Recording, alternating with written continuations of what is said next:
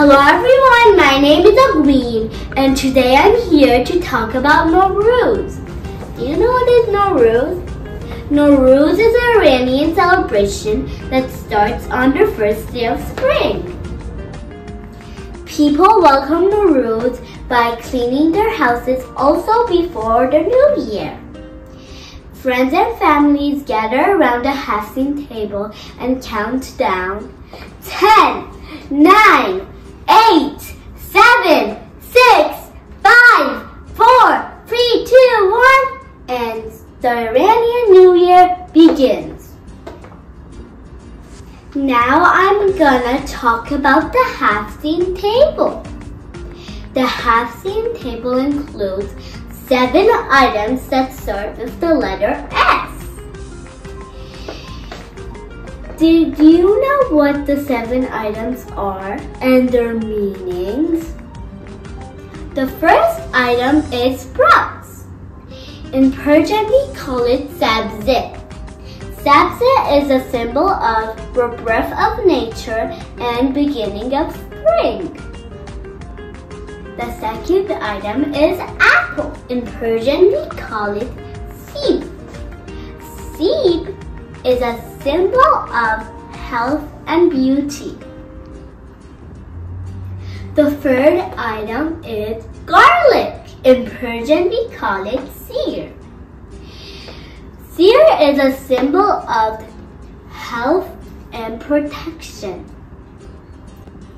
The fourth item is oleaster. In Persian, we call it sinjid. Sinjid is a symbol of love and passion for beauty.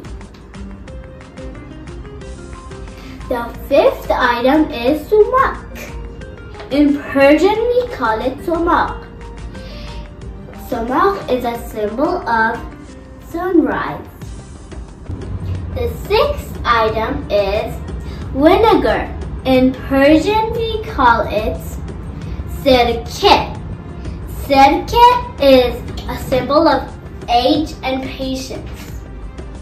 The seventh item is wheat sweet paste. In Persian, we call it samanu. Samanu is a symbol of fertility and sweetness. And sometimes we could use some other items in the Haft-sin, like coins. In Persian, we call it sikke. Sikke is a symbol of wealth. The other item that we put in the Haft-sin is mirror.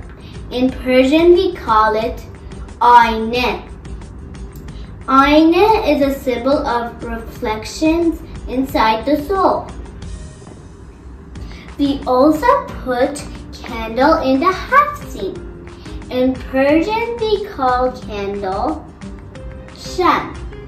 Sham is a symbol of bringing light and happiness to life. We also paint eggs and put it in the Haft-sin. Eggs are a symbol of creation and fertility. Do you want to know how to say Happy New Year in Persian? Noruzatun Mubarak!